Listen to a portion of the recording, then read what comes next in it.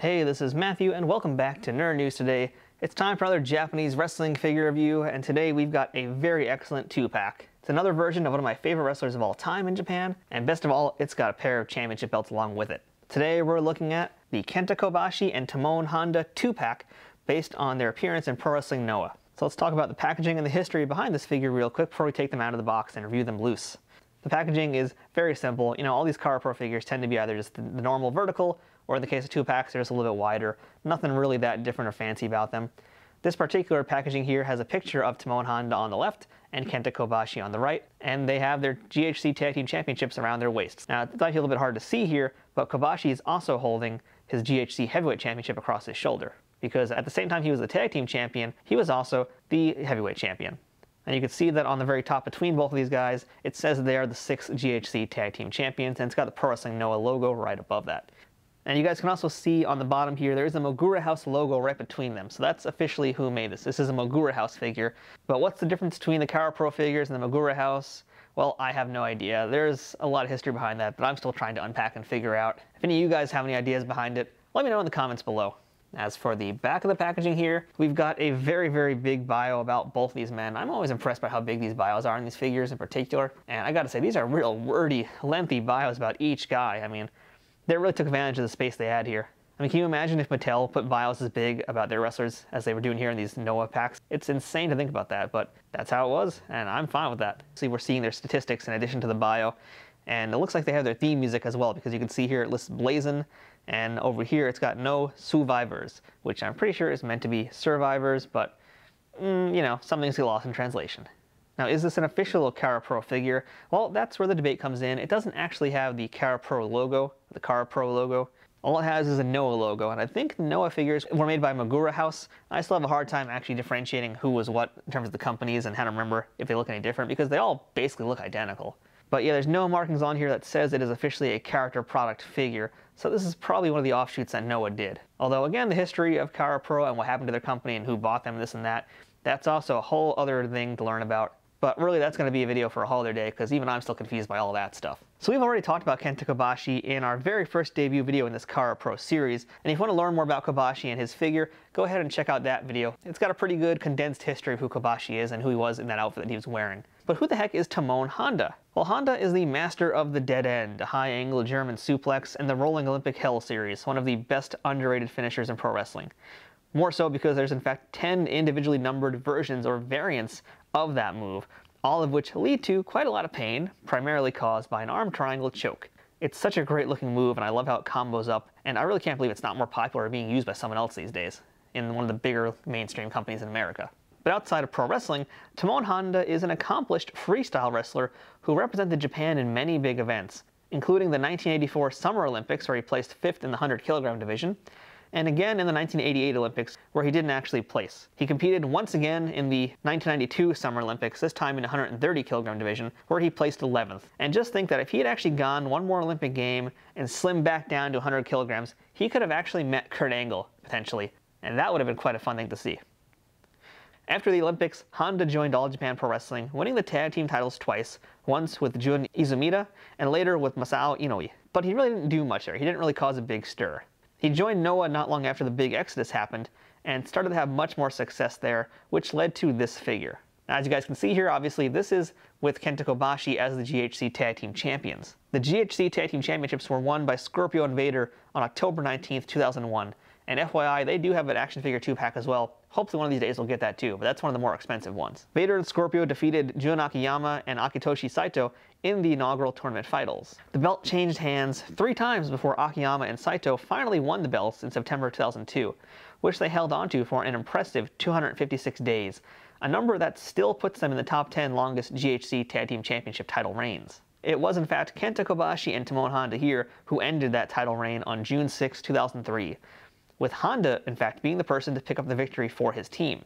At this point, Kobashi, as we mentioned, was also holder of the GHC Heavyweight Championship, making him a dual champion, and I'm pretty sure the first dual champion in Noah. When Honda won that belt, you can actually see him visibly emotional about it because it's a pretty big deal for him, and it was kind of like the, the next level he needed to take for his career. And it should be added here that in March of that same year, Honda actually challenged Kobashi for his GHC heavyweight title, which was Kobashi's first title defense of it. but it was ultimately a losing effort. But it's a pretty great match to watch, and it kind of shows the importance of the underdog character that is Tamon Honda, because he wasn't again seen as a popular wrestler, but he put up a heck of a fight for Kobashi and gave him a run for his money. So these two wrestlers defended their belts twice, first against Shinya Makabe and Yoshihiro Takayama in July, and then Akira Taue and Daisuke Ikeda in October. But in November, Yuji Nagata and a young Hiroshi Tanahashi defeated them for the belts, becoming the next tag team champions. But that wasn't the end for Tamon Honda and Kenta Kobashi. However, that loss would not be the end for Kobashi and Honda, because three years later, they would once again win the tag belts by defeating Mohamed Yone and Takeshi Morishima in June 2006. However, the duo would not defend their titles even once before vacating the belts due to Kobashi requiring time off to deal with his kidney cancer. Honda sadly had to return the belts in September, and they vacated their claim as champions. So these two guys have got quite a history together, and it makes sense that they'd have a figure pack together as well to commemorate this really big moment. And it's a really nice looking two pack, but I think that's enough about these guys in the package. Let's go ahead and take them out and look at them loose. And you guys, I gotta tell you, this again really hurts me to open up this two pack because this is a really excellent looking two pack here. Uh, for the most part, I mean, even this little dent here, I think, yeah, we can actually kind of squeeze it back into place. So that's actually why I'm not keeping it though in perfect package because it does have this little bit of a dent here.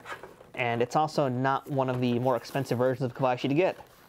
So if I ever wanted it again, I'm pretty sure I could find it. Ah, and so this is what's cool here. And so before I go much further, I just wanted to show you guys what's taped on the back of them here because I forgot to mention that earlier. They have stands. I think these are actually the first Chara Pro style figures we looked at that had stands, but we'll take a closer look at those once everything is loose. All right, and here's our Kobashi and Honda now out of the packaging. And you might notice something if you look closely at Tamon Honda's feet here. I had to put some blue tack on both of his feet, in fact, and also Kobashi's, because neither of these figures want to stand up straight. So that might explain why they come with those stands. We'll get to those in a moment, though. First things first, let's talk about the figures, and I got to start, of course, as always, with the head sculpts. So when I did that Kenta Kobashi figure review way back in the debut of this series, I talked about how it wasn't really my favorite likeness of Kobashi, and how I, I prefer this style in particular a little bit better. And there, in fact, is a difference between the two figures. So we've already seen Kobashi. I'm going to get to him in a second, but I want to talk about Tamon Honda first because this is his one and only figure ever. And I have to admit, it's actually very nicely done. I think this looks actually really good. And uh, to be completely honest, I think they actually did him some favors here. Because when you think about pro wrestlers, you don't really think about a guy like Tamon Honda in his particular body shape. He's got this long ponytail in his back. He's got this raggedy little looking goatee beard and thin little mustache. And he just looks kind of small and, and just, you know, physically not very intimidating in any way. He's certainly not a physical specimen, that's for damn sure.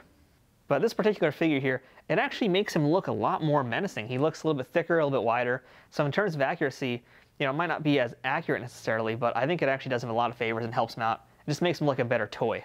Now as for Kobashi, you know, I mentioned in the Kobashi review we did in the very first video in this series how I wasn't really a super big fan of that particular head sculpt. I didn't think it was that good. And I said that there was Kobashis that I thought were better. Well, this is one of those Kobashis that I think is better. And I'm going to bring in that Kobashi that we reviewed in that first video just to show you guys a side-by-side -side comparison to them. So what are the biggest differences between these figures? Well, sculpt-wise, they made some improvements on him. Now this figure came out about two years or so after that first Kobashi came out, so there's definitely been some clear improvements about paint and sculpting. But clearly you guys can see right away in the faces, there are major discrepancies between the two of them. And I think that this Kobashi here from the 2-pack looks a lot better. Now the skin color might be a little mm, purpley, in fact, to be honest. That part is not as great, I guess. But I don't hate how it looks either. What's definitely way more improved, though, is the hair and the face in particular. And you can see that the nose on this Kobashi is a little bit thinner than the other one. The eyes were painted a little bit better. The eyebrows are painted nicer. The mouth especially looks, I think, way more like Kobashi. So this is a much better figure, and I think a better version of the character. The hairs are also pretty different as well. I feel like this version here we got from the 2-pack is just a little bit more realistic looking for this style of figures. And I also want to note, just as a point of reference for the timeline when these figures came out, you can see that this Kobashi from the 2-pack has both of his giant knee pads, whereas this one only has the one taped up knee. In the course of just a few years, his knees got really, really shot badly. His knees got worse and worse to the point where I had to wear those giant knee pads, and that's actually why I call the tag team of Tamon Honda and Kenta Kobashi here the knee pad bros, because they both had enormous pads. But yeah, from every angle, this Kobashi I think is superior to the version we got from his first Voyage match. And I think this style is the version of Kobashi to get if you can find them, but it's actually a little bit harder to find, not surprisingly. Now, I already talked a little bit about Honda's body here being a little bit thicker than I think how his actual body is, but I think it looks great. I think it still looks a good looking body. Now, Kobashi is a little more interesting because he's wearing his entrance gear here. Now, I'm going to actually pick these guys up for a second and take some of that blue tack off of them because I want to try out the stands right now. And let me show you what the, these stands look like here. So it's got the Pro Wrestling Noah logo on the front of it, and each one of them has a nameplate, like you know who the dudes are. So you can see they also have these little pegs or kind of peg holes all around the base in different positions here.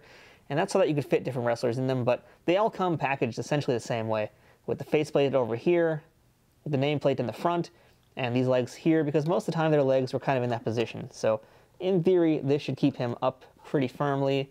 And yeah, okay, that's pretty great. He's holding him up. He does still look a little bit unbalanced, but luckily because of how these are positioned, it's holding him in place. Let's do the same with Kobashi.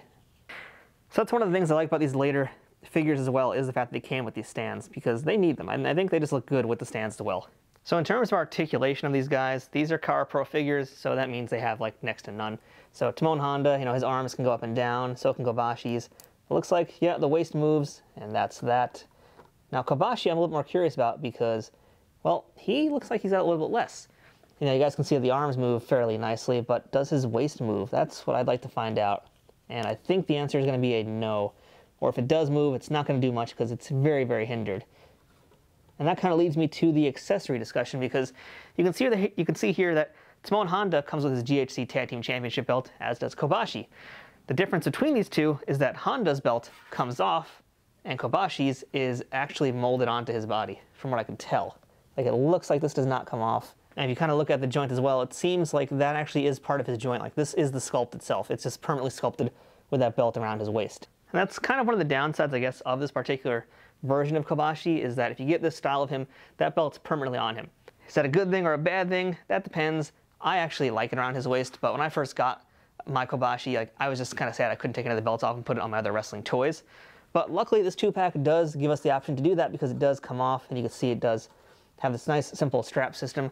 We've tried it out in other videos, and it's generally been fine. It's generally stayed on, but we've had some occasions where it didn't, like this Pancrase belt that you guys will see in a different video. So I'm to go ahead and try it actually right now just to see if it does come back on and off as easily as I'd like it to. And it'll also give us a better look at Tamon's body there. But yeah, I've always loved the GHC Championship belts. I think they're some of the nicest looking belts as well.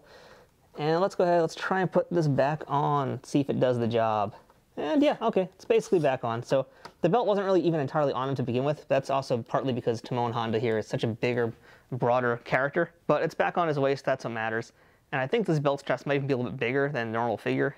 It looks great, that's kind of what matters. And most importantly, neither of these belts suffer from the green disease. We've talked about that in the past, other toys and other championship belts. It's not unusual to see these Chara Pro toys have the green disease, which means the gold in their belts will kind of start turning to yellow a little bit. Will kind of start turning to green, and it's something you can't really reverse the process of either. In fact, just for reference, here's our Antonio Inoki with the NWF Championship belt. So you can see just another good example of a good looking belt. I don't have any green diseased figures, luckily, and I hope they never turn that way. So let's talk about variants now with these Mogura House figures.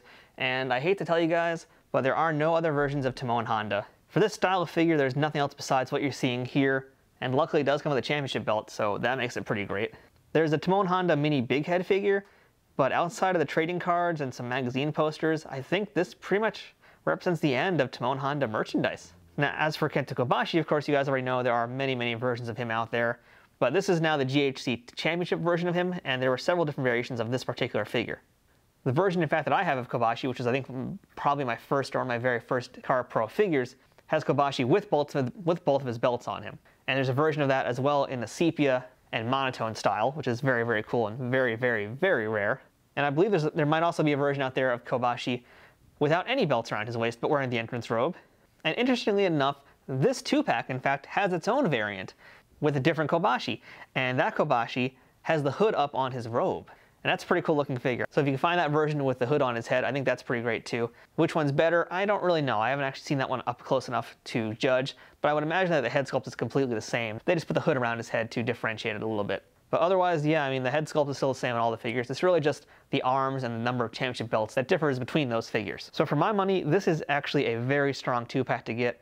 And if you've been on the fence about getting any Chara Pro guys, I think this is a very, very good starting point because it's, it's a two-pack that gives you gives you one removable championship belt, it gives you another excellent version of Kenta Kobashi, it gives you the two bases, which are always handy to have, and it's also usually one of the more affordable two-packs out there. Now, affordability and Chara Pro are not words that go together that often, but there's two packs that are going to cost you a ton of money, like versions that have Jushin Liger in them or other super duper popular wrestlers. But because this has Tamon Honda in it, I, I hate to say he kind of, I guess, brings down the value a little bit because he's not as popular as the other guys out there. But it's a great version of Kobashi that you can just see stands out really well on its own. And I think the Tamon Honda figure is also a very underrated figure, as much as he was a very underrated wrestler when he was competing. I mean, this version of Kobashi, I'm never going to badmouth, and I basically bought it just to get that Kobashi. But the fact that it comes with a bonus Tamon Honda, I mean, that's pretty priceless too. So I definitely give this two pack a recommendation. Totally worth your money. And I definitely recommend you guys check out both of their victories when they won their respective tag team championships in 2003 and 2006. And it's also worth watching Honda take on Kobashi for that very first GHC title defense he had in 2003. I think you'll see why I like Tamon Honda so much. And it's a real shame that he never came to America or got to wrestle guys like Brock Lesnar or Kurt Angle when they came to Japan. So that's our review of the six GHC Tag Team Championship 2-pack of Kenta Kobashi and Tamon and Honda. I hope you guys found this video informative and entertaining. If you guys like this video and want to see more about Chara Pro Wrestling figures, WWF figures from Mattel, New Japan figures from Super 7, and Wicked Cool Toys AEW figures, as well as everything else we do here on the channel, please make sure to subscribe to us. And hey, don't forget to give this video a thumbs up. So until next time, I'm Matthew. This has been Nerd News Today, and keep that fighting spirit burning.